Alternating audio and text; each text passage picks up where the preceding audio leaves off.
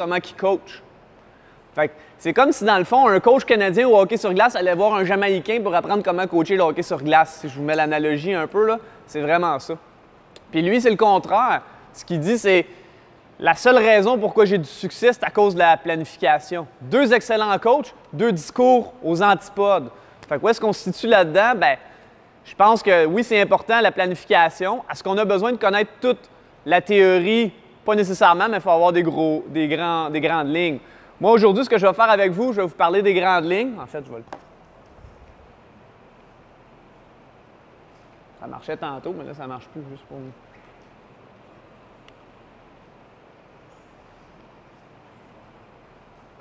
Mike, ça marchait tantôt, mais là, ça ne marche plus.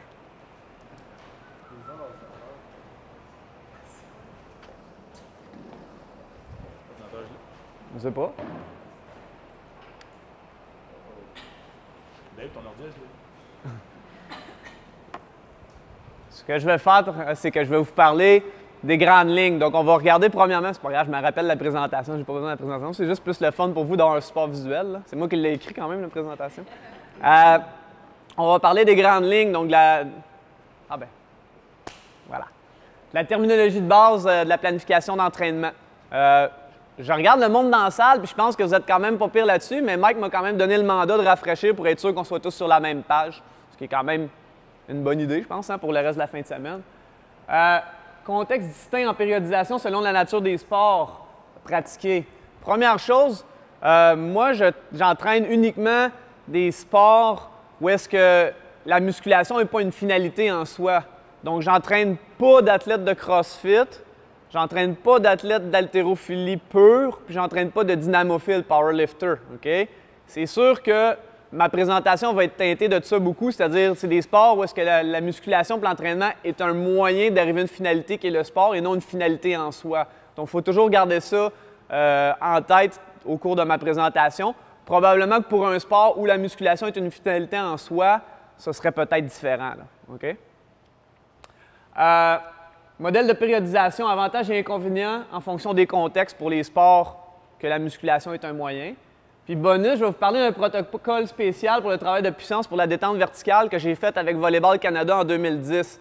Ça a été le protocole d'entraînement le plus efficace que j'ai eu dans ma vie. Les gars m'en parlent encore aujourd'hui, ceux qui ne sont pas à la retraite.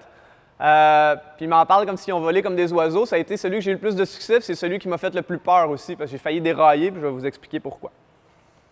Ça a failli vraiment mal se finir, mais ça a super bien terminé.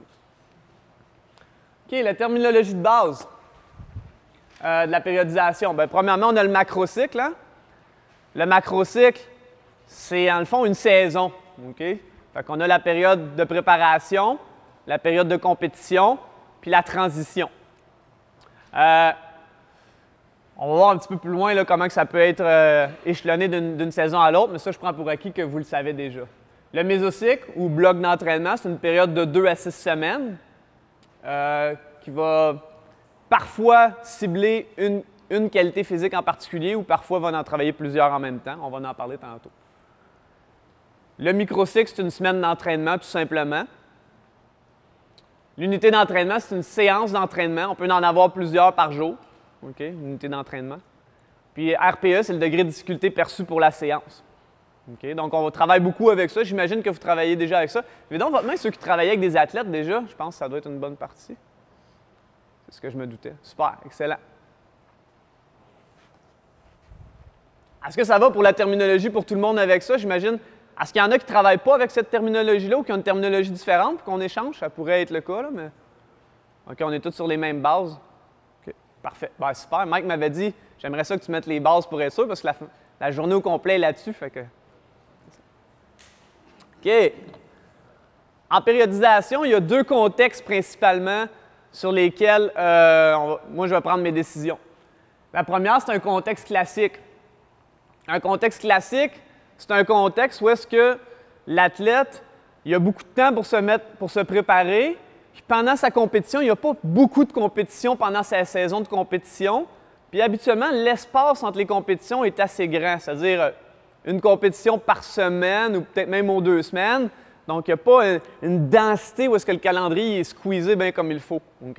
Donc, on a du temps. C'est ça qui est la, la, la plus grande caractéristique euh, d'un sport euh, qui a un contexte classique. Donc, les sports les plus euh, connus, c'est l'athlétisme. Hein? L'athlétisme, ils n'ont pas une compétition comme au hockey, ils n'ont pas une game aux deux jours ou aux trois jours. En athlétisme, c'est beaucoup plus espacé. La natation,